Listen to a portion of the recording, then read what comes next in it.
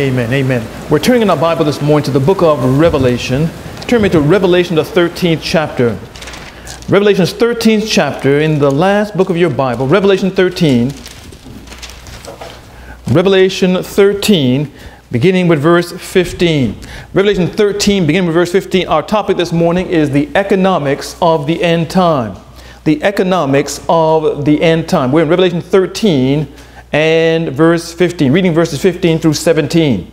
This familiar passage of scripture should not be uncommon to most, even those that don't understand the end times. It's been read and spoken of in many settings, both religious and not. But we're going to study some of this as it pertains to, again, the economics of the end and draw out a prophetic line of study that we must understand carefully as we trace down the events, the rapid movements of the final prophecies of the Lord. In Revelation 13 and 15, it says this it says, And he had power to give life unto the image of the beast, that the image of the beast should both speak and cause that as many as would not worship the image of beast should be killed.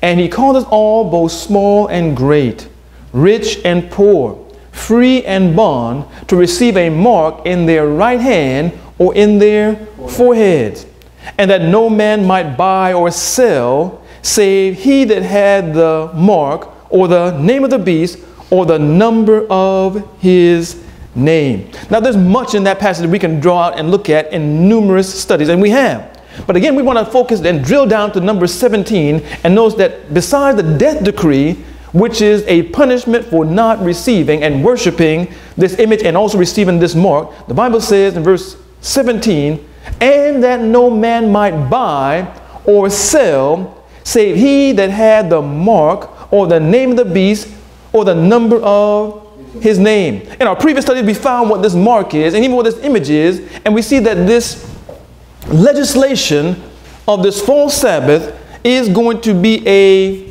test, a religious test, allowing entrance into or causing exclusion from a central closed economy. The idea of a closed economy in America or in any country for many years, even for centuries, has thought, been thought to have been almost impossible because of the use of things like gold and silver and precious metals, and even the idea of bartering, and also the idea of paper money, paper federal notes, the idea of closing the economy to the use of money when money was so fluid seemed impossible. But in the day that we're living in, we're seeing that this prophecy is so old as the Bible, given to us hundreds of years ago, thousands of years ago, is showing us in our time how possible it is and how even prophetic, how it will come to pass. The Bible says these individuals in the last days, in the last hour of history, are going to be forced by punishment of death and also by economic sanction, economic embargo to receive the mark of the beast and to worship this image. We'd like to take our time this morning and look at a few prophetic lines of study, but we can see and understand from Revelation 13 and from Daniel and various chapters these economic principles of the end that play so largely in the closing up of this earth's history and how the Bible outlines to us this idea of a closed, centralized economy centered in the papal power and administrated by the governments of the earth while all these powers are coming together to persecute, prosecute, and to sanction the people of God, the people that refuse to receive this mark and worship this image and to receive the number of his name. Let's look at another prophecy that helps us understand this same truth spoken of in Daniel's prophecy in the 11th chapter of Daniel. Look at Daniel 11 quickly. Daniel 11. And let's see if we can draw down some time periods to show us how this comes down to our day. We're in the 11th chapter of Daniel, 11th chapter, Daniel 11, beginning with verse 40. Daniel 11 and verse 40. This passage, we're told in the pen of inspiration, is designed, calculated by God to cause a great revival among God's people. Thusly, we see it either not spoken of on one side or presented in erroneous fashions and ways on the other. But there must come a revival through the study of the books of Daniel Revelation and especially the book of Revelation, sorry, Daniel 11. In the book of Daniel 11, look at verse 40 and let's see if we can draw back our minds to where and how we see this prophecy unfolding here and we look at the work of the papal power, if you remember our previous studies, in the verses, I'll say verse 30, verse 38 or so, I should say, maybe 36, 37, all the way down to verse 40, we're seeing the papal power. From those verses all the way down, we're seeing the papacy as the king of the north, the spiritual Babylon, the king of the north, doing exploits. But notice in verse 40 what happened. In verse 40 of Daniel 11 it said, And at the time of the end, that the king of the south push at him, and the king of the north shall come against him like a. In these few words, we've seen a span of hundreds of years. In Daniel 11 40, it said at the time of the end, and we've understood from the study of Daniel what the time of the end means. The time of the end, when our previous study found, told us that the time of the end is the termination of the papal supremacy. Papal supremacy would go from 538 to 1798. This is a matter of history, and also we've seen it in the book of Daniel, chapter 12. It's been clearly outlined to us in our previous studies.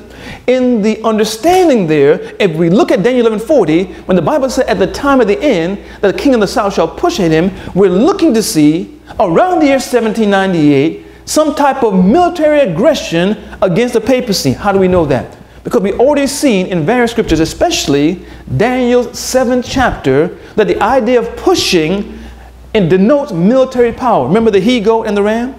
And they were pushing one with another. And we found in the very chapter, Daniel chapter 7, that the he goat represents what power? Greece, amen. And the ram represents what? Media and Persia. And we see the contention between these two powers for world dominion and them pushing represents military aggression and military conquest. Was there any type of military or violent aggression by the king of the south? Or what we understand as spiritual Egypt from the 11th chapter of Revelation toward the papacy? Or what we know as the French Revolution and the powers there? Was there any aggression by the French Revolution toward the papacy?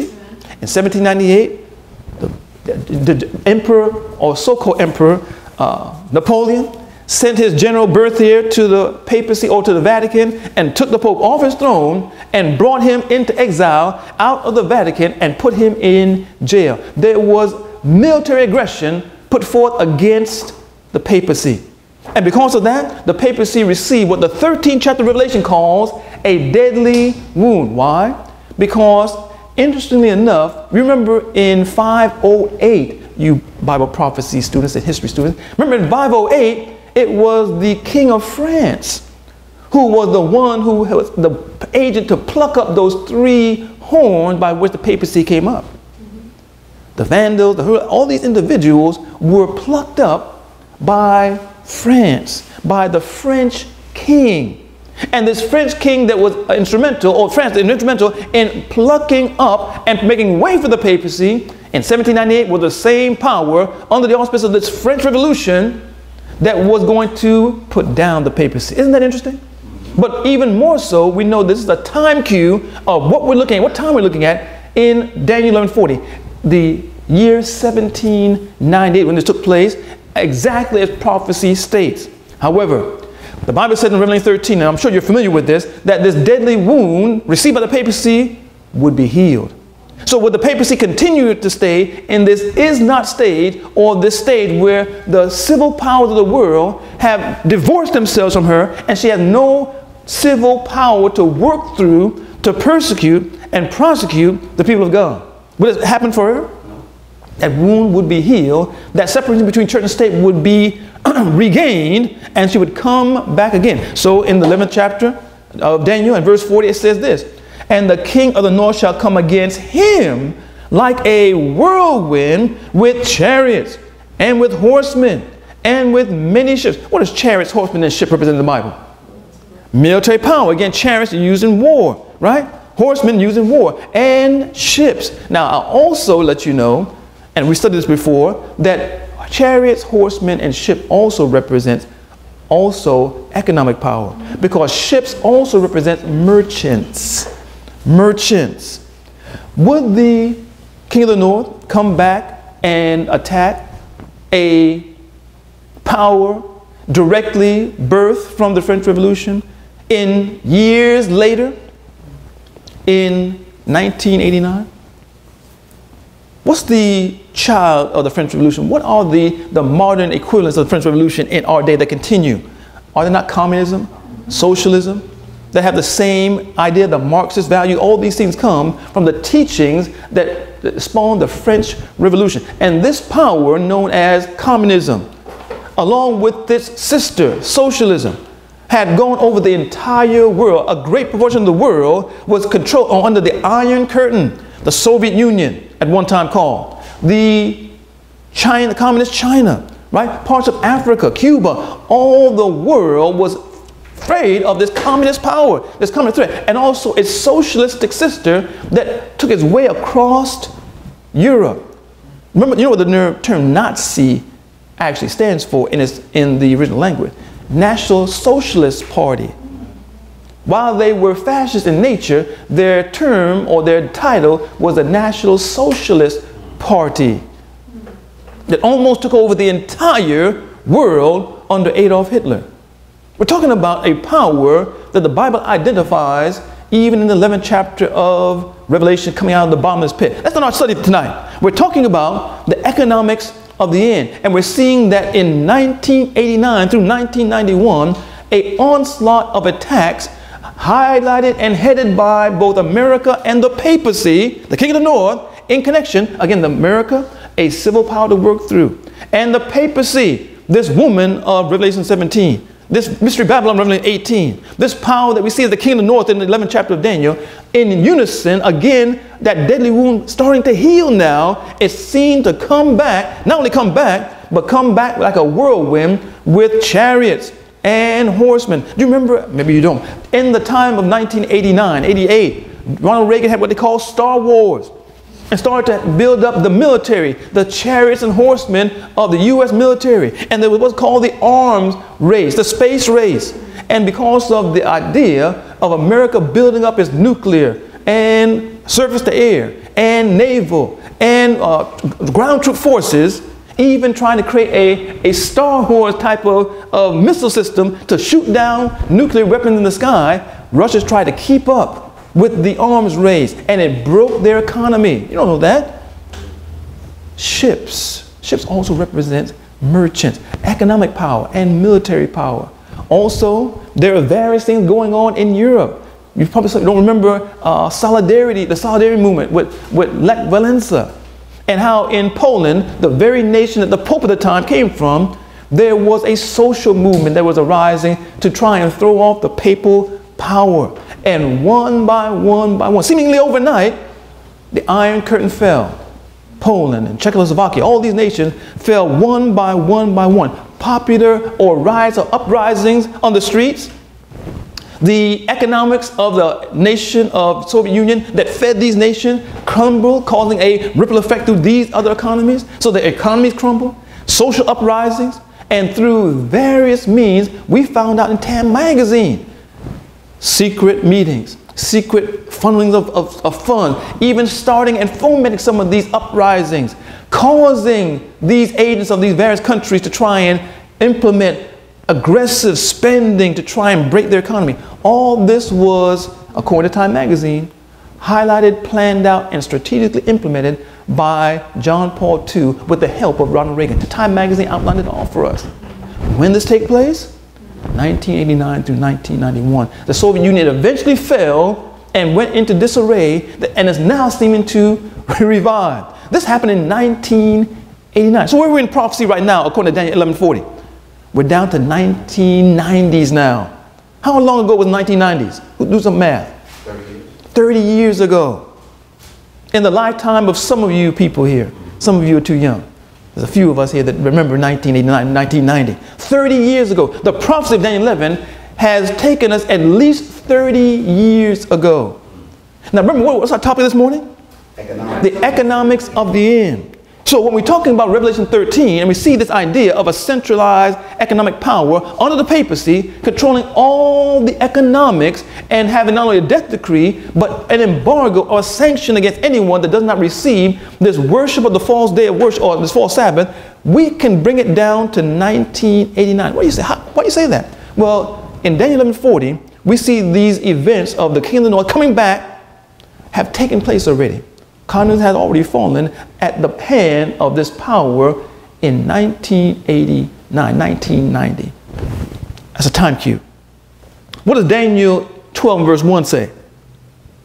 Daniel 12, 1 says, And at that time shall Michael stand up, that great prince will stand up for the children of the people, and there shall be a time of trouble as there never was that there was a nation, and the people shall be delivered. Amen? Amen? And we know that this idea of Daniel standing up is the close of probation. And we're talking about the great time of trouble in Daniel 12 and verse 1. We're not there yet. Probation has not closed yet. Michael does not stand up yet. So we're looking at a period between 1990 and the close of probation now. When we look at the idea of where we're looking in this prophetic scheme. Amen. Amen. Now, are we in 1990? We're after 1990, right? And we're before Michael stands up. How do we know? Look at Daniel chapter 11 verse 43. Because something must happen after 1990 and before Michael stands up. Look what it says here. In Daniel 11 and verse 43 it says this. Talking about the king of the north, right? Who is resurging, going to the countries, has already entered into the glorious land and done according to his will. In verse 43 of Daniel 11 it says this. Daniel 11 43 said, But he shall have power over the treasures of gold and of silver, silver and over the precious things of Egypt. Now what does that mean? What does the king of the north have here? You said what? Money, wealth, gold and silver. Let's put a text with that. What does it mean when you have these treasures of gold and silver or treasuries? Are we talking about literal Egypt? A local kingdom? Or are we talking about in these passages of Daniel 11 40 to 45 future spiritual worldwide emphasis here? Not a local treasury, but the treasury, the economics of the entire world. Look at the text quickly. In the book of Isaiah, hold your finger in Daniel 11 and look at the book of Isaiah 39. Isaiah, the 39th chapter. Isaiah 39. We're talking about the economics of the end time. Isaiah 39. Isaiah 39. Remember Hezekiah? Mm-hmm. You don't remember Hezekiah. You remember Hezekiah? Yes. Hezekiah was a king of the people of God, Israel, right? Remember, literal local, future spiritual worldwide. Future spiritual worldwide according to the symbols and principles of literal local stories in history of the Old Testament. In the 39th chapter of Isaiah, notice a story that we see here that has future worldwide spiritual implications as we see Daniel 11 talking about the king of the north or the spiritual Babylon having control of the gold and silver. Follow me now. In Isaiah 39 it says this.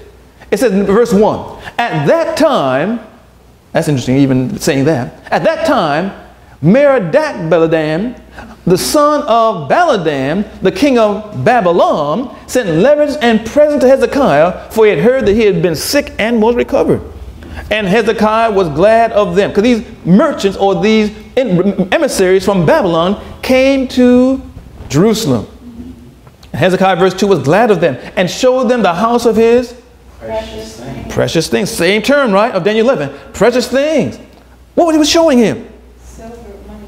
It says silver and gold, spices and precious ointment, and all the house of his armor, and all that was found in his treasure or his treasury. All the economics were shown and revealed to these men of Babylon. And there was nothing in his house, nor his dominion, that Hezekiah showed them not. Now, brothers, you know the rest of the story, amen? amen. These things were shown unto Babylon, and where did all these treasures, all the gold, all the money, all the silver, all the riches of Jerusalem end up as they were shown to these emissaries of Babylon? They would end up in Babylon. As a matter of fact, he drank in them, he worshiped in them, he had debaucherous parties with these implements of gold and silver. All that was shown, all that was in the house of people of God, people of God, were taken to Babylon. Babylon had control of the gold and the silver. Literal Israel, future spiritual worldwide emphasis. Babylon would control all the gold and silver. All the treasuries of the earth would be in the power of this religious, geopolitical power. This is a prophecy of the end time. You said this is impossible. How could that, how could that even be? That doesn't even make sense. Neither does a power that actually is virtually almost two centuries old have the ability to have such an influence on modern media, has such a, a, a, a trending pattern on all social media platforms NBC, ABC, Twitter, Instagram. The Pope and his activities are trending. Name any other institution so old with such a modern and, and too up to date trending pattern on social media today. Name one. Name any geopolitical power that has been able to survive the vicissitudes of the world and trial and tribulation of this earth to succeed and to reinvent itself as the papacy has done. Not so uh, hard to believe if you have a prophetic worldview. Not so hard to believe you understand Daniel 11 and Revelation 13 that this power must have this deadly wound healed, must come back, and the Bible says it must eventually have control over the gold and silver of Egypt or the entire world. It must control the treasury, the economics of the whole world, the economics of the end before the close of probation. Are we still together? We're talking about the economics of the end, and we want to understand that we are not in 1989. We are racing toward, we are coming toward this fulfillment because this fulfillment, this work must be ready and in place for there to be a Sunday law. Now you say, well, I'm glad that you said that because we got some time, brothers and sisters. Any of you flown an airplane lately? We went to Dallas, Philip and I, or where we went to, where we just go to, Greenville. Oh, you, you probably were sleeping, but when the lady comes through or the gentleman comes through, the steward, the stewardess, Say you want a box of crackers or some water or some juice something like that. You gonna pull out a dollar bill and give it to them? I trow not. You're gonna be thirsty. They may give you some water. You can't. Well, I, there are, I'm saying this is universal yet, but the greatest airlines of America, a great majority of them, Delta, JetBlue, United, you cannot use cash on the plane anymore. You have to use a card. Now, if you want some water, they'll give you some water. They'll give you a little drink. But you want one of those snack boxes? I trow not. You want uh, whatever that, you cannot get it without a credit card, without swiping your card and being digitally connected to the financial markets through that plastic strip. And eh, you know, we last night we did a study and we found out that Satan, according to Isaiah 14, 14, wants to be like the Most High. Didn't we find that? And I, you know, this is not. Now, I'm gonna deviate for a little bit. This is this is John Cofer speaking here. I'm not going for the Bible, but I thought it was interesting. This is, I thought, let's see parallel. I thought it was interesting that when we look at what how the world is moving today, it seems like what's happening in the sky is ahead of what's happening on the earth. It seems like the skies or the places where the planes are flying are going digital, are going cashless even at a faster rate, as far as the United States is going, at a faster rate than the ground. Here in America, we have not gone cashless yet. There's, I don't know of any store that does not receive cash, except for the Amazon stores that are making now, and some stores are trying to test it, but largely, there's no cashless, real strong infrastructure here. It's prepared, but it's not here yet. You notice how Publix now has this thing where you can actually call and they'll actually do your grocery shopping for you. And basically, you just give them your card, and basically, they shop for you, and they'll either drop it at your house, or you just come and you park, and they bring it out to your car and give it to you, and boom, you, and you're gone. No money. No money. You can go to the store now, and you can actually go to check it out yourself. You take a little thing, beep, beep, beep, beep, beep, beep, beep, beep, beep, beep, beep, beep, beep, beep, swipe the right card, and you're out. The infrastructure is in place. But the idea that this stuff is happening above before it happens below, I thought was interesting because again, Satan, Satan has a sense of humor, brothers and sisters. I believe Satan had a sense of humor. And when the Bible says thy will be done on earth as it is in heaven, and the skies, where the heavens, where, where the planes are flying, going cast so fast, and Satan wants his will to be done on the earth as it already is becoming so cashless in heaven. Brothers and sisters, I think he has a sense of humor. I think he's laughing at the fact that many people don't understand that what's going on in the airlines is soon going to land. It's soon going to be seen all over the world. And it must especially begin here in America. That's why you see the majority of the American airlines are going cashless and entertaining this idea of a cashless environment in the sky.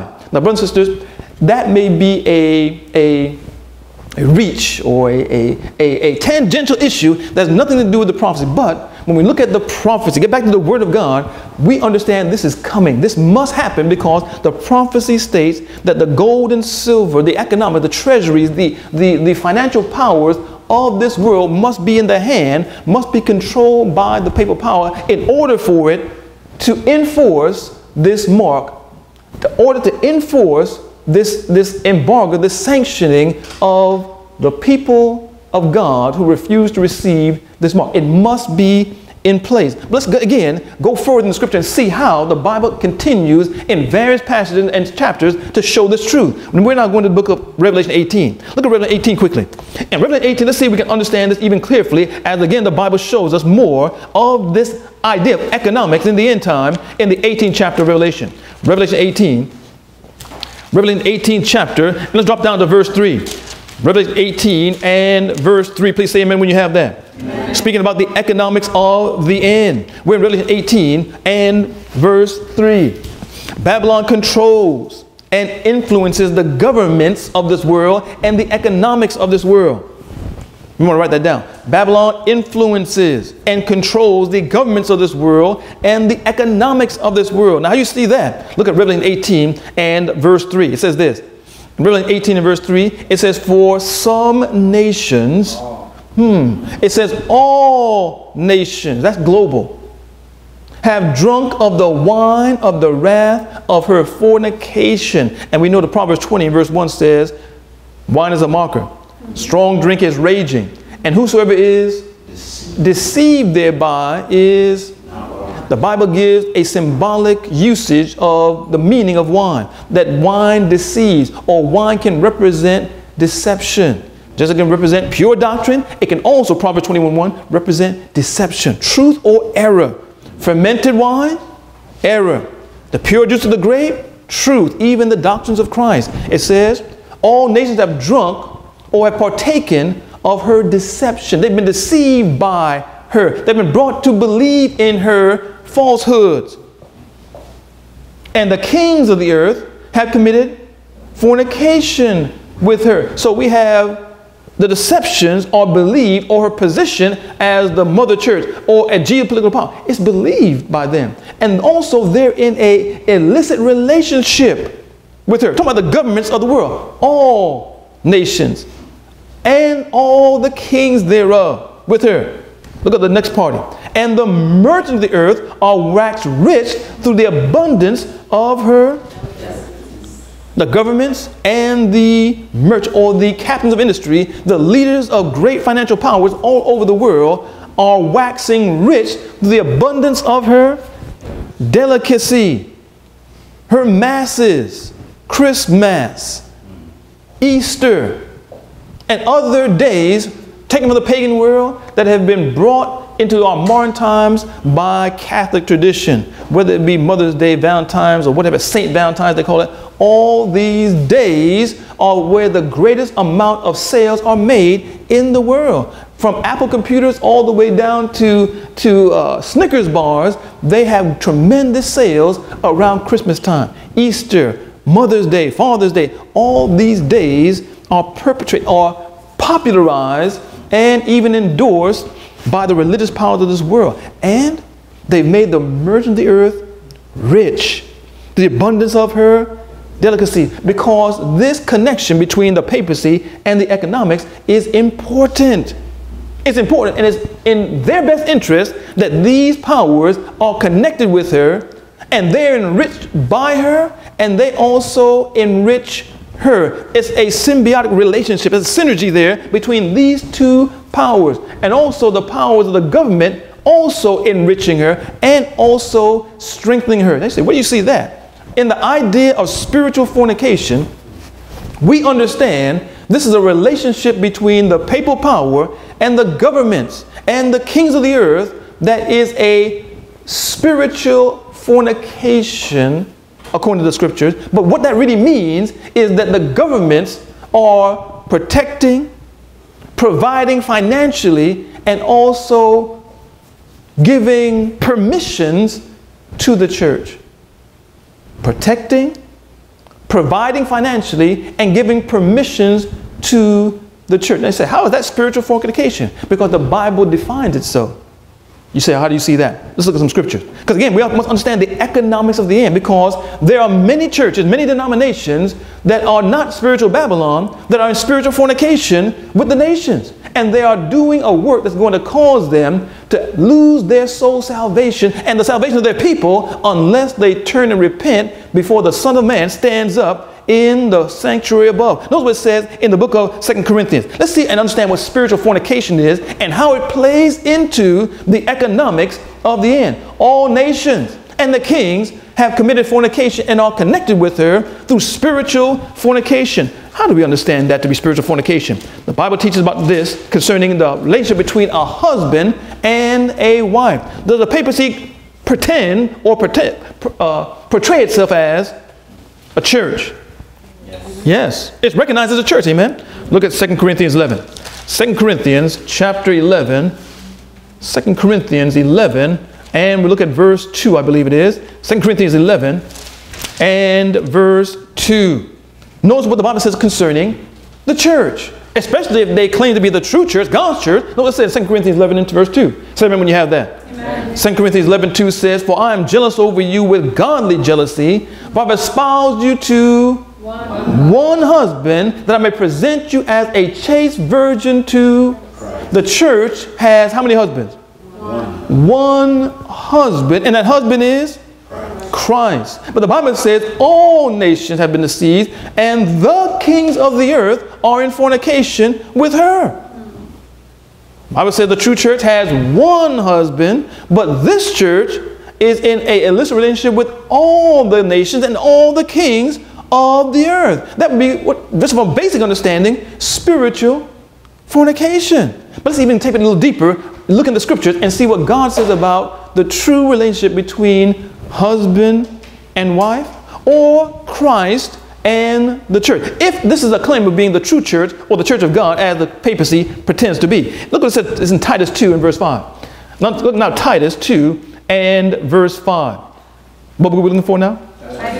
Titus. Titus 2 and verse 5. In Titus 2 and verse 5, notice the next scripture, which gives us an understanding of the true relationship, which is not being followed by the papacy, which would call the Bible to call the relationship we see prophetically in the end time spiritual fornication. And from this, we'll understand how this plays into the economics of the end. If you're still with me, say amen. amen. Okay, I hope you're still with me. Don't say amen, just say amen now.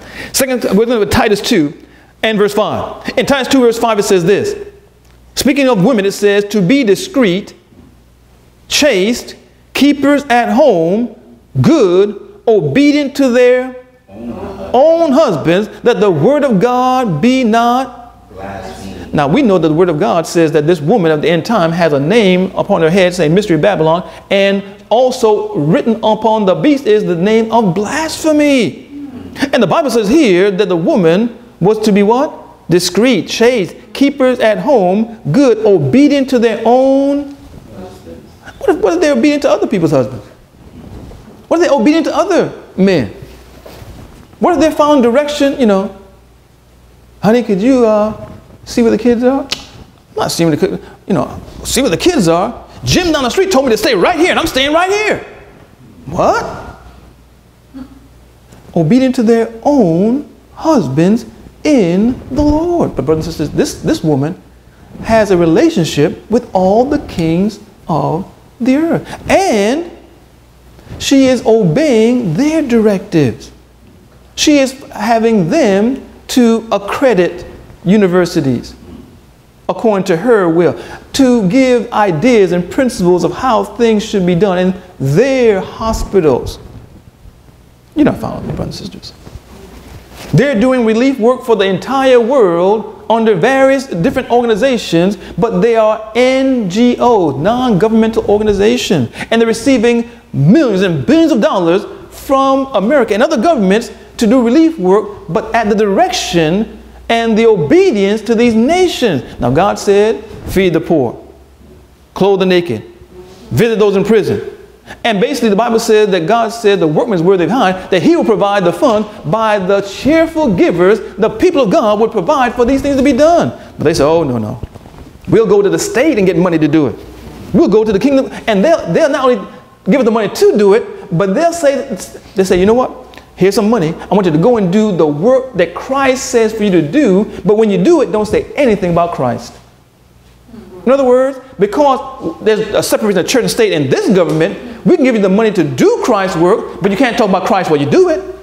In other words, do this in your husband's name, but don't talk about your husband.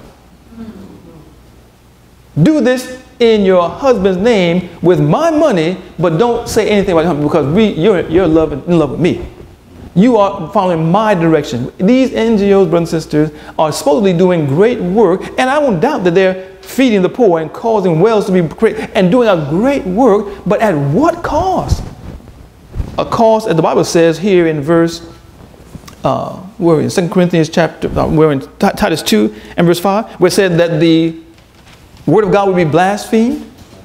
Good works indeed, in a sense, but also the word of God is being blasphemed to do it. And the Bible calls this relationship spiritual fornication. Now look at 1 Peter 3. 1 Peter, look at this few scripture. Because again, this is playing into the economics of the end. Billions of dollars going into churches to do good works.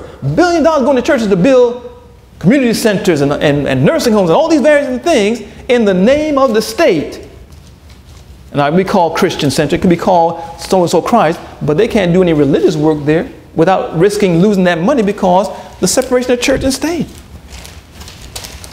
The name of God is being blasphemed through the idea of being connected to the government, receiving government funds to do God's work, and you can't even do religious work because of it. In the book of 1 Peter, 1 Peter chapter 3. Look at 1 Peter 3. I believe it's verse 5 we're looking for. 1 Peter 3 Notice what it says here, 1 Peter 3 and verse 5. It says this, 1 Peter 3, 5. Say amen when you have that. Amen. For after this manner in the old time holy women, the holy women also, who trusted in God, adorned themselves, being in subjection, subjection unto their Another scripture talking about how these individuals in the Lord, according to the principle of God, were to be in subjection to listen to the direction of godly husbands biblical and contra, not contrary advice, these principles will be followed by these holy women or holy churches.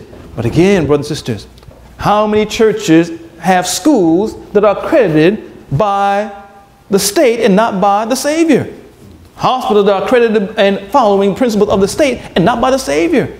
Principles of education. And even when it comes to doing so called good works, the work of the church, the church is receiving funds to do all types of feeding programs and, and medical programs that are connected with and given direction directly by the state and not by the principles of the Savior and the spirit of prophecy. And sisters, we see the Catholic Church and many denominations, they're following in the train of spiritual fornication according to the biblical rule. Let's look at one last text and then we'll go on. One last text. Please sit up if you will. Ephesians says this Ephesians, Ephesians 5, Ephesians, the fifth chapter. What were we looking for right here? Ephesians. Ephesians. Look at Ephesians, the fifth chapter, Ephesians 5 and verse 28. Ephesians 5 and verse 28. Now, how many know thus far with these scriptures how clear the difference between the true church and a false church, a pretending church, a church in spiritual fornication is. The Bible is very clear, but looking at these texts. Ephesians says this, Ephesians 5, verse 28. This is how we, if we don't understand the teaching of the Bible, we can't understand the prophecy. The prophecies are made upon literal, local teachings in the Bible. The literal history, the literal teachings, the literal doctrines are used to understand spiritual things. If you don't understand the literal, you can't understand the spiritual. Ephesians says this. Let's, let's, let's, let's close the section with this. Ephesians 5.28. Say amen when you have that. Amen. Ephesians 5.28 says this. It says, So ought men to love their wives as their own body. He that loveth his wife loveth himself. For no man ever yet hated his own flesh, but what? Nourishes and cherishes, even as the Lord the Now, what does that mean? It means that the husband is supposed to love and cherish and what does nourish mean? Feed. To feed, to build up. So the whose responsibility is it to feed and to, to provide for the woman? It's the husband or Christ. Now the woman could be a millionaire, but it's the husband's responsibility to feed and provide and to cherish the wife. But what if the wife says, you know what? Well, these these few nickels you give me is good, but you know, Jim Smith down the street has given me a couple of hundred dollars. Or a couple thousand dollars. Or a couple I just have to do what he says. Follow what he tells me to do. That's all right, isn't it? Oh, it's not all right? Well, what you gonna do about it? Jim, come, come and take care of my light work. The Bible says that the husband's role is to, so Christ is to provide for the church. Amen? Amen. Christ is to cherish and to nourish and to build the church. And Christ has afforded a method, a way by which the finances and the forwarding of the gospel is to go forth, both in its preaching, its benevolent work, its educational work, its healing work. It's supposed to be supported by systems of tithe, offering, and gift. The Bible speaks of very clearly. But when the Bible shows this way by which the word of God is blasphemed by this church that calls itself a prophet, going about seeking the aid and the finance and the grants and the, the, the, the government aid of the church, sorry, of the state to support her institutions, and even the work of the civil government to enforce her decrees, then even the Protestant Church of America would form an image, a likeness of the beast. But sisters, we're seeing this everywhere. Not only with Mystery Babylon the Great, but her daughters, the Protestant denominations, are going in this way. You can hardly find a church that has a school or educational system that's not accredited. Based upon the fact that they can't receive the direction of the state to do God's work. Because God, the husband of the, of the church, has told her how to work. And money should not be a reason by which we bend our principles. If not, if we do so, we are tying ourselves into the economics of the end. Doing good works, feeding the poor, making wells, giving out medicine, these things are good, but God has a way by which we can do it without entangling ourselves and jeopardizing our marriage vows. And by doing so, we're entangling ourselves in the economics of the end. That when this system of things comes down and falls, because we're tied to it, we fall as well. Bar none. No denomination on the earth cannot be, you know, as a matter of fact, I'll, I'll leave that alone. I'll, I'll, leave that alone. I'll leave that alone. Let's continue. When we look at the Word of God, we've seen that these concepts of spiritual fornication even clearly show us that the churches of our land, not just the papacy itself, but also the churches of our land, are in danger of entangling themselves with the papal power, with the governments of the earth, and preparing ourselves to fall with them. Because the Bible says all the world will wonder after this beast and also seek the direction and try and follow her, even making an image, a likeness to the bees. Now, let's even go a little bit further. We talked about the economics of the end, and we talked about not just the governments by which the church is connected with them, both the papal power and many of the Protestant denominations, virtually all. But also we talked about the merchants of the earth being or waxing rich through the abundance of her delicacies. Did we say that? Amen. That was in Revelation 18 and verse 3, I believe. We read that. Amen? Amen. Yeah, some people don't remember that. When we look at what we see in the 18th chapter of Revelation, the antiquated words, the old words, cause us to think this is something of the Old Testament. But the 18th chapter of Revelation is showing us things at the end of time. And even though ancient words and, and terms are used, there are modern equivalents to what we see in the 18th chapter of Revelation. Let's turn there quickly and look at that. Because what we're seeing in Revelation 18 is a future scenario or a scenario that's taking place and occurs in this world. We say, oh, the old world had all these donkeys and goats and agriculture. Oh, brothers and sisters, the ancient world was just like this world. Our world is just more sophisticated in a sense or more polished, but it's the same system, even a more grander system that must come to naught. In Revelation 18, it says this. Look at Revelation 18. We're going to read verse 11 through 14. Revelation 18, verse 11 through 14, because the merchants of the earth, we're talking about the government and the spiritual fornication. But now let's talk about the merchants of the earth waxing rich to the abundance of her delicacies. And what that means, we talk about the leaders of the great nations, and sorry, the great, great national uh, empires Facebook, Instagram, Google, uh, ExxonMobil, all these different companies and many more represent tremendous financial interest, and we see them outlined and their enterprises outlined in Revelation 18. The 18th chapter of Revelation shows us the world economic landscape. You say, where to see that? Notice what it says here. In Revelation 18, let's look at verse 11. Are we there? And the merchants of the earth shall weep and mourn over her, for no man buyeth their merchandise any more. This is a scenario that must take place. This financial system must be accomplished a one centralized world empire or economic order, but will it last forever? It will come to naught. Let's read on, verse 12. The merchandise of gold and of silver. Now, if you want to take down notes, write down gold and silver on your page. Because we're going to break this down in a moment. The merchandise of what? And when we talk about merchandise, these are things that can be bought merchandise, bought and sold. And the buying and selling in our modern day called the world market. Do you have a market here down the street Publix, Winn-Dixie? We also have a world market. In Publix and Winn-Dixie, things are bought and sold. You say, oh, sold? Well, you can go outside, you can, you can sell some things too. You can buy and sell in markets. You can, you say, well, how could you sell them? You can go down there and you can get your orange juice sold in Publix. You can go down there and talk to that, that produce manager and say, hey, I have organic onions. Oh, you do? Oh, no, no, no. Just fill out some paperwork. You can sell onions in Publix and Whole Foods. You just have to have the right connections. You can buy and sell in markets. And some people buy and sell on world markets. Some people buy on national markets. You ever heard of the stock exchange? You ever heard of a, a, a day of trading?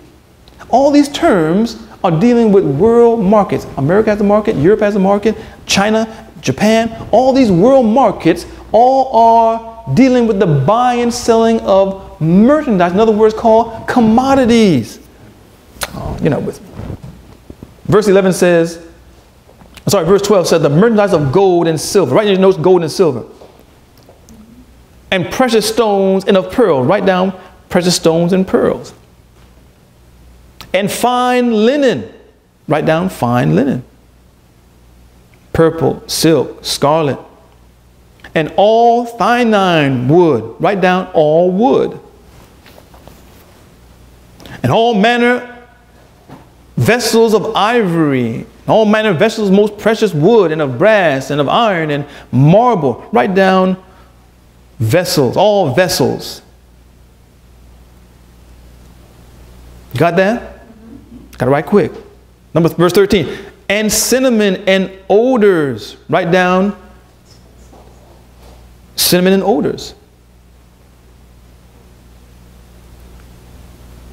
And ointments and frankincense. Write down ointments.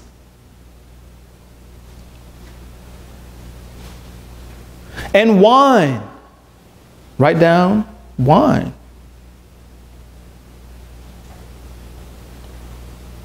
And oil and fine flour and wheat. Write down oil. Then write down fine flour and wheat.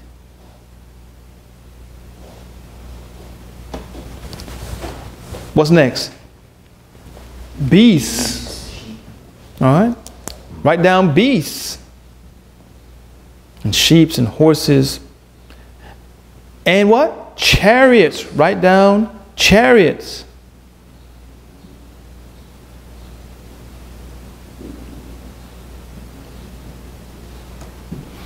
And slaves and souls of men. Write down slaves and souls of men. Now you said, what in the world are you doing, Cofer? We're talking about commodities market We're talking about what's on the stock market today. We're talking about trading in Japan, in China, in Russia, in America, in Europe, in Canada. All the world markets trade in these things. You say, what? Trade in these things? Chariots? Yes. These terms have a modern equivalent. And what we see here is what's being traded on the world market. And people that control these things are the rich men of the earth. You don't believe that? Let's go to your list. What's the first thing on your list? Gold, silver. Gold and silver. How about the banking industry? Oh, oh, banks are backed by the government. Banks are private institutions. That's why they got bailed out by government money. Saks Fifth Avenue, Goldman Sachs, AG, Bank of America, Wells Fargo, these billion dollar industry, these are private institutions. These people are making millions of dollars, billions of dollars off of your money. They have the gold and silver. The most of the gold and silver that people have are in banks or in financial institutions. Raymond James, right? All these 401k, investment, retirement packages, uh, bonds, stocks, these things are the gold and silver of this world. And you can connect with that also precious metals because there is a market for precious metals like actual gold, like actual silver, like platinum. These things are another market, the precious metals market. Are we still together? Gold and silver then, but the precious metals market and also the banking industry. All those fees for your ATM card and overdraft, man, they're making millions of dollars off of you. And you say, well, oh, I, I never overdraft. Well, do you have a savings account? You think they're leaving that money inside there? Man, they are going to Vegas and, and blow, they, they are investing that money in everything, pornography. They're investing that money everywhere. Let's digress. Back to our list. Next, the next one. Precious stones, right? And pearls. The diamond market. Both blood diamonds and not. The diamond market, the precious stones, rubies, diamonds, emeralds. These things are marketing themselves. And they're largely found in Africa. They've been taken from Africa and traded in Europe for hundreds of years. Africa is poor and Europe is rich based upon the commodities of Africa. That's a whole other story into itself. But again, the diamond market, the precious stone market is a market, a very lucrative market for some rich men and merchants of the earth. And spiritual Babylon gets a percentage of all this. The Bible says these are the things that spiritual Babylon, as delicacies, provides and gives power to the earth and rich men to both enrich them and themselves. Pearls, precious stones, diamond market. Next one says fine linen. What's that? The textile industry. Now you say, well, who can make money off of, off of textiles or, or sheets, brothers and sisters? Those cheap sheets you over there buying in Walmart is not, not what we're talking about. We're talking about 700 thread count. 800 thread count. You ever had a sheet that was 800 thread count? That means how many, how many threads in a square inch? You, I mean, you have 100 thread count. The thing, take the skin, take the, the hair right off your body. It's all rough. You can't sleep at night. You know, you're sweating. Ah.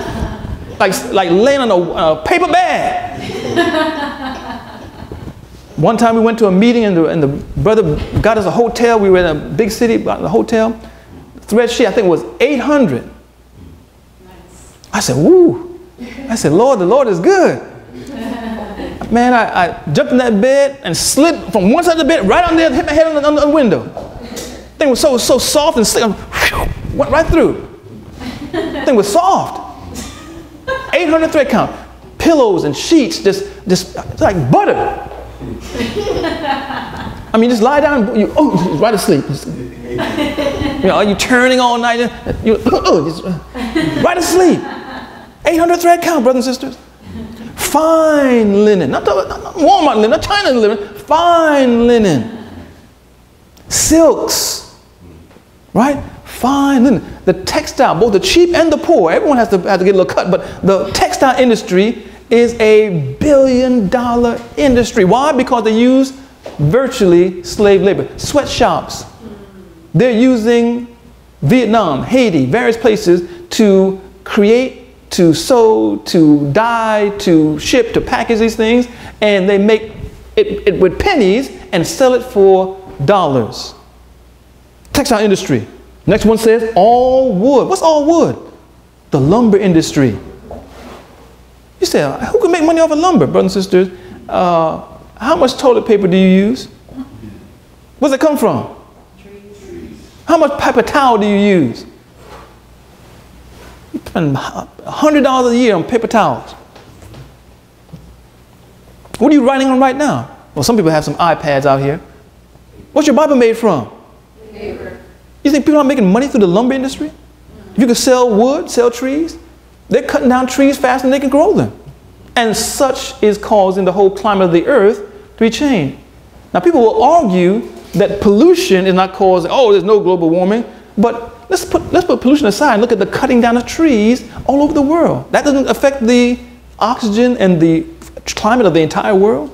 But again, the Bible says he'll destroy those that destroy the earth. These people mining for diamonds, these people mining for gold and silver, these people mining or trying to take down wood, they're destroying the earth. Another sermon unto itself. Fine linen is the textile industry. It is traded daily on the world markets. All vessels, all vessels. What are vessels? Vessels are containers, whether it be vases or cups or bowls or so on, whether they be for art or whether they be for usages in uh, uh, homes and so on, the counters, sinks, all these things. It says all vessels, brass, marble, all these things are fine vessels. And they're various, even luggage could fall into that as well. All these things are tremendous industry, especially if you're talking about ivory and marble. People spend top dollar for these things, traded on world markets. Next one says cinnamon and odors. Not about cinnamon, make talking about some cinnamon, you know, crunch uh, bagel or something like that. We're talking about perfumes. Yeah. Perfumes. How much for five, six, ten ounces of perfume? Hundreds of dollars, some of these things. Some perfumes, even you can pay five, six, a thousand dollars. I was in the mall the other day, I had to go to the bathroom. Usually when I go to the bathroom, I go to Saks Fifth Avenue. I go to the fancy bathrooms. You know, I don't go down to, uh, you know, you know, uh, McDonald's bathroom, Burger King. You know, I'm in the mall, I go to uh, Saks Fifth Avenue or, you know, one of these big, big time bathrooms, you know. So I can relax. Went in the bathroom, and there was a brother coming out. Now, now the brother was, you know, he was rich. The brother had on a, a, a Rolex. The bezel was all diamond encrusted, you know, just, I mean, dressed to the nines. I mean, nice, you know, shirt on, you know, crisp, you know, pants, shoes, everything, pristine. And the brother had on the perfume. And I went, brother, smelled like the, like the, the, the Sheik of Arabic. I'm like, what, what's this? Is, is, Solomon here? I mean, I said, what in the world? I mean, this, this was an incredible smelling perfume. And as I walked through, the, the smell was continued down. There were two guys coming out of the bathroom. And the guy came out of the bathroom and said, you smell that guy? Man, that was delicious. The man said that was delicious. I said, mercy, these two men actually said this man's perfume was delicious. I mean, it was incredible. But again, how much do you think he probably, where did he get that from and how much do you think he paid for this incredible smell? Probably a thousand dollars, if not more. These perfumes that you can find over in Europe and places sometimes cost a thousand dollars. And they're made largely, some of the best ones, from something called ambergris. You know what ambergris is? Whales vomit it into the sea. It's a, it's, a, it's a substance that whales vomit out and it's found floating in the sea. And it's very, very rare to find it, but when they find it, they make perfumes from it. Ambergris. Go and look it up online. Next time you whale vomit. Next one says ointments. Ointments. What are ointments? Medicines. Medicines. Is the pharmaceutical industry, the medical industry, have billions of dollars? Medicines, pharmaceuticals.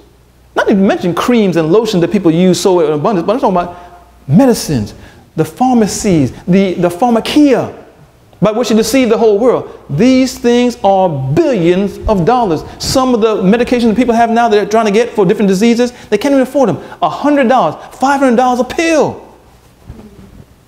Trade on the world markets. Next it says wine. Is alcohol a big business? Are these alcohol companies trading in billions of dollars? Are they government sanctioned to poison you, cause accidents, maiming, destroying? People die of drunk drivers all the time. Do they sue the alcohol companies? Strange, isn't it? Next thing says oil. It's okay, some olive oil. Now let's leave that. Let's talk about petroleum. How much does the oil market affect the entire world? Right now, as we're speaking, there's a great tension in the Strait of Hormuz. You know what the Strait of Hormuz is? It's over there near Iran in the Middle East.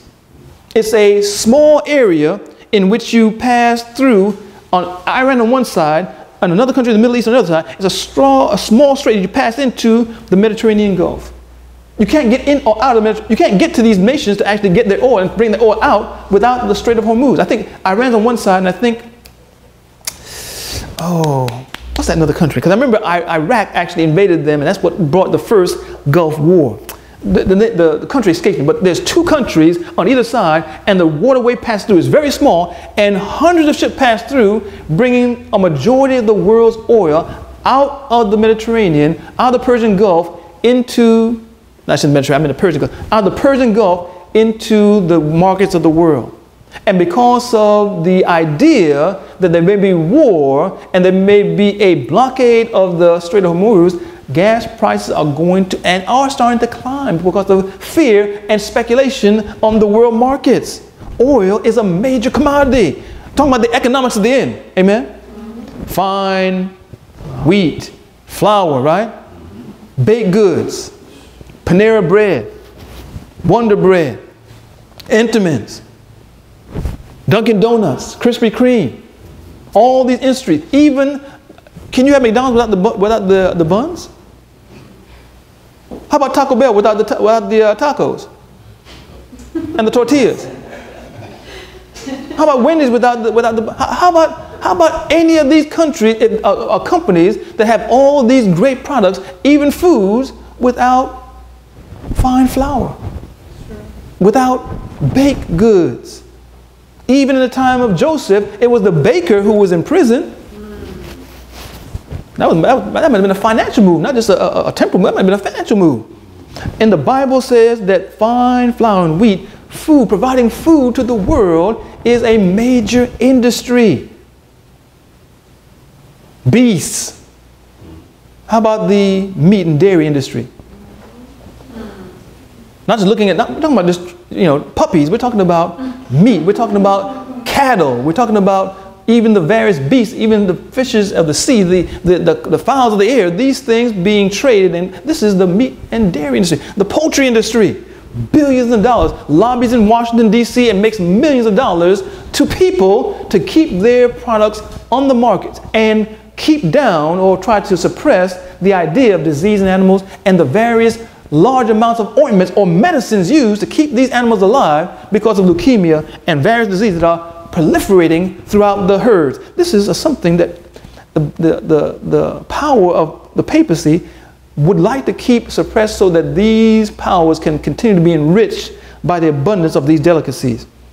So the next one is chariots. Chariots, conveyances. What's that? Automobile industry.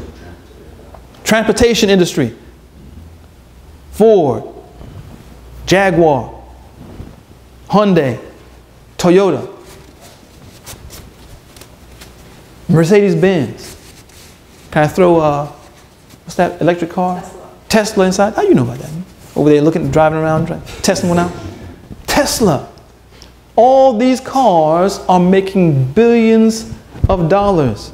Last it says slaves and souls of men. You said, well, that's not happening right now. Brothers and sisters, do you know that the prison systems are traded on the stock market nowadays? And the idea of convict leasing that happened shortly after slavery and Jim Crow has been reignited here in the last days as the Penn administration told us it would be to bring about a system where a great amount of, of people of color of African descent are in prison than were in slavery in 1863 free by emancipation. Today, a greater number, a greater million of, are in prison. And in these prisons, they're pressing out license plates. And this five to ten cents piece of tin with maybe two cents worth of paint on it, how much does a license plate cost? So 25, 30 cents worth of tin, and the state is charging $100 for it. And who's making it? Prison. They're making wood. I mean, they're making furniture, license plates, and all. You know what they're getting? Pennies. The same amount of money that they're getting in Haiti and Vietnam and these different places and parts of China in the slave labor there. Brothers and sisters, you may say, oh, these people have done evil. They're, they're there and they have to, to work out their, their penance. But there's a difference between working out your penance and doing your, your, your, your bid or your, your, your, your uh, restitution to society and slave labor. Slavery is under another name, slavery still. And this is going to be much wider than we think. Now, also, let's say that we don't also understand that there is still a Islamic slave trade that has never stopped. The European slave trade stopped, but the Islamic slave trade continues to this day. You can go right now to places like Libya and various places and buy Africans today. Today. But all these things are traded, that we talked about today, are traded on the world markets. On the world markets. And these things enrich the kings of the earth, enrich the merchants of the earth, and they enrich the papacy. And these things all must come together in a unified, one world central government, even digitally, though, traded, commodified, so that there can be, according to Revelation 13, not only a death decree, but also a system by which that people can not buy or sell, save they had the mark of the beast, the name, and the number of the beast. Shall we close with this thought? Look at three scriptures. This system must come together so that this can happen. The merchants of the earth are all on board with making more money, having their money instantly transferred. You know when people lose money because of bad checks? Having digital transfer is very effective, very lucrative. They desire that more than checks. Even going paperless saves them billions of dollars. It's in the interest of companies to have a digital connection. Amen? But notice, what notice a few scriptures. Look at how all this must come together. Let's look first at the governments of the world. Look at Revelation.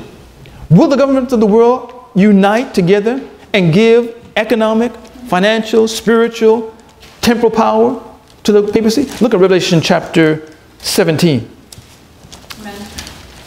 In Revelation 17, knows what it says. And we studied this a few nights ago. Let's put on our thinking cap and go back in our mind to the 17th Revelation, looking at verse 12 through 14. Because all the governments of the world, or the kings, nations, are going to unite and give their power, economic, civil, social, to this system Since the image in America, it will go universal. It says this, Revelation 17 and verse 12. It says in Revelation 17, 12, and the ten horns which thou sawest are ten kings, which receive no kingdom as yet, but receive power as kings one hour with the beast. Who's the beast? Papacy. Papacy. Receive their kingdom one hour with the beast. And we understand who these ten kings are from a previous study. Verse 13. These have how, what? One mind. One mind with the beast and shall give their power. What kind of power? What kind of power do governments have? Economic, military, social, right? Power and strength unto the beast. These shall make war with the Lamb, verse 14, and the Lamb shall overcome them, for he is Lord of lords and a King of kings, and they that are with him are called and chosen and faithful. All the world is going to wonder, and especially these 10 kings are going to give their power. The European powers and the idea of Brexit is going to come to naught. The idea of a European Union must take place, both financially and spiritually, that this system may come to pass. But here we see the Bible says they have one mind and they'll give their power. What about America? The Bible says it will give their power and strength. It will happen at a, at a, national level, at a governmental level. What about the mercy of the earth? Look at the book of James. What about the rich man? Look at James now. What book are we looking for? James. James. We're looking at the New Testament, looking for the book of James. In the back of your Bible, at the book of Hebrews, the book of James. James. Look at James, the fifth chapter. We're almost done. James 5. James, the fifth chapter. James 5, verses 1 through 7 are all the kings, the 10 kings, European powers, going to unite, even though Brexit seems so strong? Will they unite? Yes. Will they give all their power? Yes. Will they come to naught? Yes. What about the rich men? What about the merchants of the earth? What will they do? Will they have economic success? And will it come to naught? James chapter 5 verses 1 through 7 says this. James chapter 5, 1 through 7. It says, Go to now, ye rich men, weep and howl for your miseries that shall come upon you. Future. Prophetic, right? Your riches are. What does corrupted mean? No good. Spoiled. Unusable. No good, right? Your riches are corrupted and your garments are their righteousness are moth The Bible says that these things will come to naught. Rich men, super rich, but their riches will fail. They will be destroyed. They'll come to naught. Verse 3 Your gold and silver, the economics, is canker, and the rust of them shall be a witness against you, and shall eat your flesh as it were fire. Ye have heaped treasure together for the last days. Do you know that also since 1989, since 1990, these prophecies have come to true in a greater way? You say, well, oh, there's always been rich men. Not like it has since 1990. Not, you say, well, there was, there was a, uh, uh, think some rich people back in the day. Uh, J.P. Morgan and all these various people back in the day that were super wealthy. There have been more millionaires and billionaires made in the last 30 years than all the whole time America has been in existence. There have been more millionaire. The Bible doesn't say go to ye one rich man. It talks about ye rich men. A body of rich men that have heaped and gathered treasures when? For the last days. When are we looking at the last day? Daniel 11 told us it would be when this papal power comes back against the king of the south and starts to move to the countries, enter the glorious land, and take control of the finances. Then we know we're in a time when these prophecies are coming to pass, and we have seen, for instance, 30 years ago, let's say 20 years ago, yeah, 20 years ago, how much money did How much money did uh, Mark Zuckerberg have? When he's sleeping on, on someone's futon and, and someone's bed, you know. Now he's a billionaire, one of the richest men in the world. And a lot of people that are with him are also billionaires. 30 years ago, let's say, mm, let's say uh, 1985, somewhere around there. How much money did Bill Gates have? He was probably sleeping on someone's couch too. Now, Warren Buffett, he might have been a millionaire back then. He might have been a millionaire back then. But Warren Buffett is now a billionaire. They've heaped together treasure, the amount, the number of billionaires and millionaires, especially because of the gig economy or this digital economy or Silicon Valley or the infrastructure that is going to help create this digital one world financial order. This has caused a superabundance of millionaires, and they've all gathered their money together for the last days. Look at verse 4. The hire your laborers that reap down your fields, which kept back by fraud, crieth. So there's going to be some rich men, but also a lot of fraud and deception, like Enron, like Tyco, like all these different companies, like Bernie Madoff, who made off with a whole bunch of money. All this have come to condemn them for the last day. Look at verse 7 to show you even the context of when this happened. This happened right before what? Verse 7 says, Be patient, therefore, brethren, unto the coming of the Lord. Brothers and sisters, this financial order, this one world government, this one world financial system is already practically in place. It only needs, like the image, to have life breathed into it and to go cashless and to block out or lock out anyone who does not go along with the Sunday movement.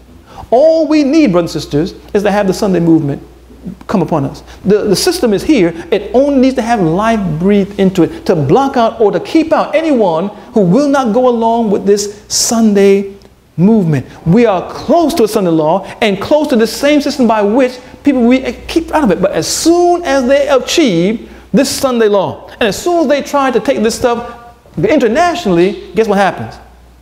the whole economy crashes. This treasure or this economy, it becomes corrupted. The Bible says that individuals are seeing the, the instability in the world, and these rich men that are seeing and making all this money, guess what they're doing with this money? Guess what a lot of people are doing with this money? Guess what a lot of people that are industry captains are doing with their billions that they cash out of Facebook, and they cash out of Instagram, they cash out of Google, and these places, and they're seeming to disappear. Where are they going? Can I get this two seconds? Give me, give me two minutes to deal with that before we close. Our last day. Give me two minutes to deal with that. The Bible says that a lot of these individuals would start a movement that's prophetically seen. Look what it says in the book of Revelation. In Revelation, we're going to see a lot of the rich men and these captains of the earth, even some of the bondmen that Revelation 13 talks about, are going to take themselves and because of the political and economic, see, you got, got to preach. He's, I can't even preach anymore. He's talking so much. Amen. Thank you, Mom, for taking him out. So I can finish the economics at the end. He's preaching the everlasting gospel. I'm trying to preach the economics at the end. In the book of Revelation, we see that the Bible teaches that there is going to be a movement as people see the financial and economic instability, and there are many financial people, money people are seeing where these things are tended, knows what they're going to do, and knows what they're even doing right now. In the book of Revelation, chapter 6, Revelation 6 it says this. In Revelation 6 and verse 15, notice what the Bible says. It says, and the kings, Revelation 6 15. Are we there? Amen. Revelation says the kings of the earth, the nations of the earth, the merchants, knows what they're going to do and what they're doing even now. It says, the kings of the earth and the great men and the rich men and the chief captains and the mighty men and every bondman and every free man hid themselves in the dens, in the rocks and the mountains, and said to the mountains and rocks, Fall on us and hide us from the face of him that sitteth on the throne and from the wrath of the Lamb. For the great day of his wrath is come, and who shall be able to stand? Brothers and sisters, there is a definite application of a, a people in the last days that will see Christ and run from it. That is not going to be anywhere doubted by prophetic teachers and preachers. But the Bible said these individuals are going to hide themselves in the den and rocks. They're going to make themselves dens. What's a den? It's a home, it's a lair, it's a dwelling place.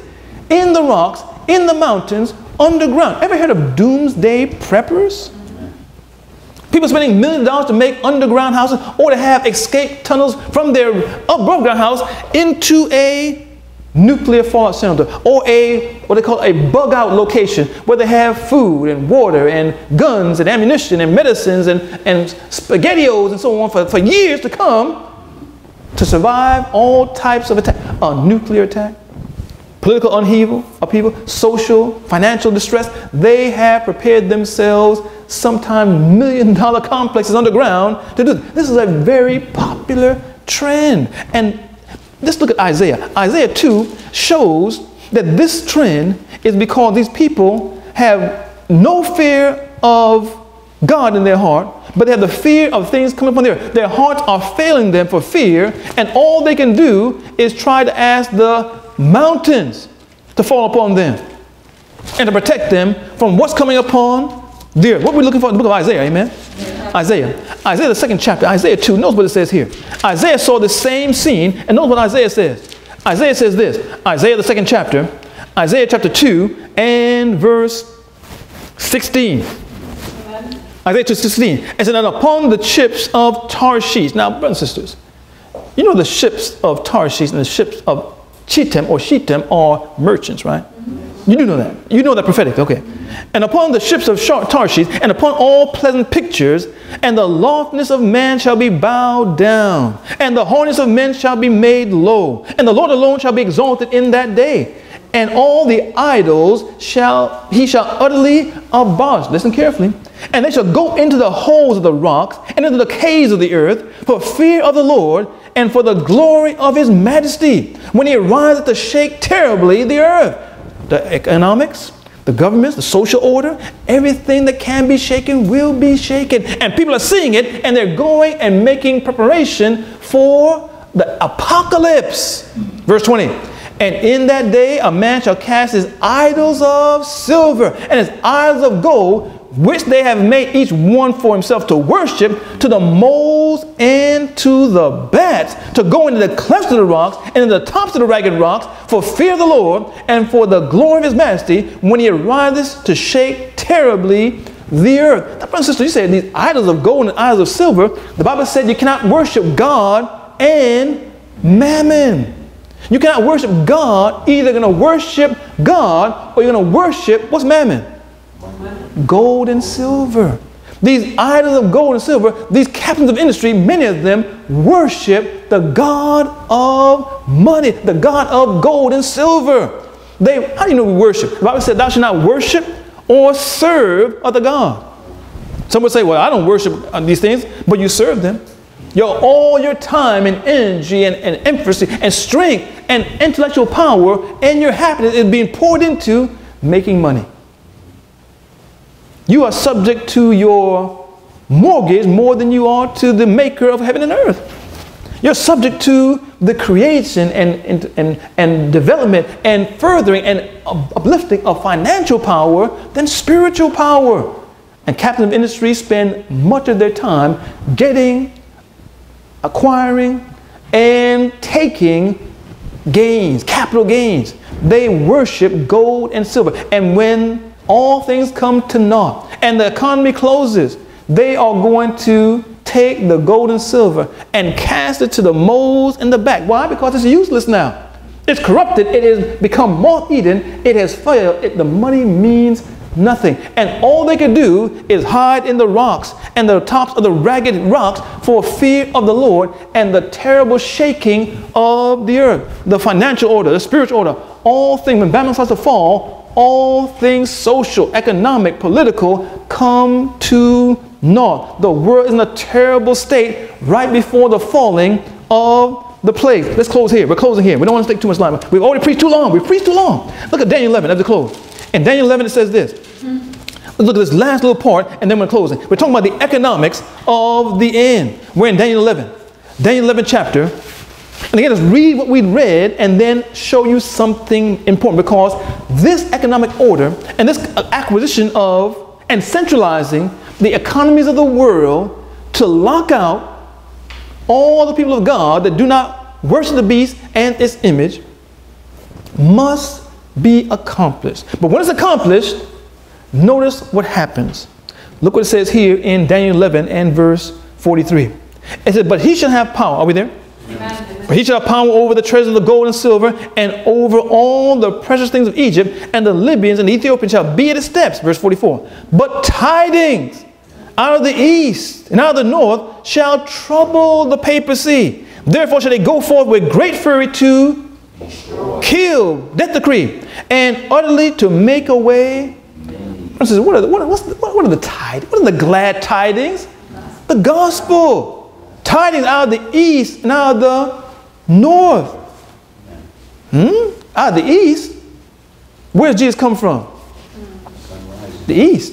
And the Bible said, Jesus said, as lightning shine from the east, even unto the west, so shall the coming of the Son of Man be. The everlasting gospel must be preached from the east to the west. The principles showing the coming of the soon coming of Christ or the seventh day and Adventism must be preached from the east to the west. And also the north, the side of the north, the city of the great king, is the coming of Christ with the New Jerusalem as well. That's where Mount Zion is. That's where the church is. Try, sidings out of the east and out of the north trouble the papacy. This is the loud cry coming. This is the work of God coming with great glory because now, as this economic system has been put in place and we have a law that is enforcing the power of God upon the power of the God of this earth, I should say, upon the people, now God pours out this Holy Spirit upon those that are ready, and the message goes with great power out of the east, now the north, and the trouble begins upon the papacy, and he turns to trouble the people. Brothers and sisters, we are not in 1989 or 1990. Probation hasn't closed as yet. We are a few short months, a few short days, a few short weeks away from all these things coming to pass. And we must understand and make preparation practically, spiritually, and even intellectually to stand amid the economics of the end. If your desire to spiritually stand by knowing the gospel and receiving Jesus Christ today, if your desire to understand the principles prophetically and practically that you can stand both in health, in holiness, and have a ministry, let us ask God at this time for these blessings, because these are precious promises He's given us to encourage us and support us and strengthen us at this time are needful. We need the gospel. We need the promises of Psalm 91. We need the promises and the practical instruction given by prophecy that we may reform and revive and stand in the liberty where God has made us free in these economics of the end. Let's pray together on that wise. Father, you've given us promises in your word, and we thank you for the promises of God that show us the economics of the end. And I need a preparation for that time even this morning. Give us this day our daily bread. Man shall not live by bread alone, but by every word that proceeds out of the mouth of God. Lord, we pray that we would not run to the ragged rocks and to the hills to have them fall upon us, but we would be making preparation to stand and to give a witness to all the world. Lord, teach us, show us, order our steps in thy word, prepare us for the times ahead, even the time of trouble, as we spiritually understand who you are and intellectually understand the three message and believe, building our faith that we may stand in the end times amid the beast, the mark, his image, and all these spiritual pressures. Give us a unwavering faith as we start today, choosing you, believing you, loving you, receiving you, is our prayer in Jesus' name. Amen. Amen. Amen.